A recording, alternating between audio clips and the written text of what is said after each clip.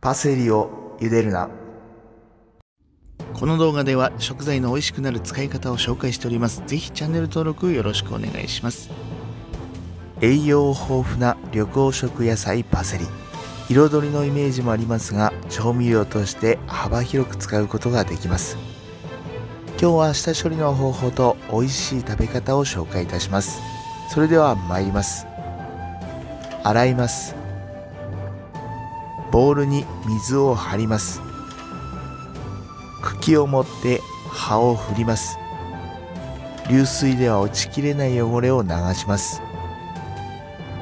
水気を取ります。葉と茎側で分けます。今回は葉をメインにしていきます。茎は肉や魚と一緒に煮込むことで臭み消しになります。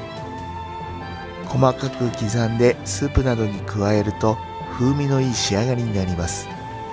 冷凍で1ヶ月ほど持ちますのでぜひ使ってみてください。パセリの葉を刻みます。みじん切りにします。みじん切りにしたパセリも冷凍保存ができます。この下処理をしたパセリを使用したレシピを紹介します。パセリとレモンのサラダ。刻んだパセリをボウルに移しレモン汁大さじ1を加えて混ぜ合わせます。オリーブオイル小さじ1を加えて混ぜます。塩と黒胡椒で味を整えます。トマトを1センチ角に切ります。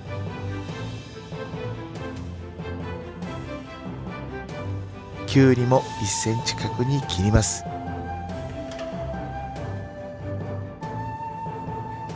ボウルに加えて混ぜ合わせます。冷蔵庫で約30分ほど冷やし味をなじませます。これで完成です。食べる直前にレモン汁を少しかけても美味しいです。パセリのペースト。ボウルに下処理をしたパセリを加えます。ここにオリーブオイル小さじ1ニンニクのチューブ2センチ。塩少々。黒胡椒を加えて混ぜ合わせます。パンに塗ってトーストで焼きます。これで出来上がりです。続いてパセリのポテトサラダです。じゃがいもを洗い3センチ角に切ります。水洗いをします。耐熱ボウルに入れて電子レンジ600ワットで3分。じゃがいもは食感が残るくらいにフォークでざっくり潰します。ベーコンは1センチ幅に切ります。フライパンでカリカリに焼きます。じゃがいもに塩コショウ少々。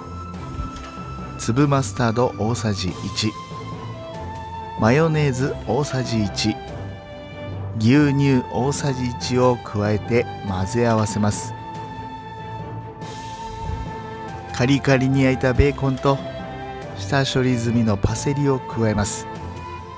混ぜ合わせたら出来上がりです。パセリのリゾット。耐熱容器に温かいご飯。120g 牛乳 80ml 下処理済みのパセリ。コンソメ小さじ1 2の1塩1つまみ。オリーブオイル小さじ1 2の1にんにくのチューブ1センチ。入れてよく混ぜ合わせます。この上にスライスチーズをのせます。電子レンジ600ワットで2分温めます。2分後に取り出して混ぜ合わせます。再度電子レンジで600ワットで1分温めます。もう一度よく混ぜ合わせます。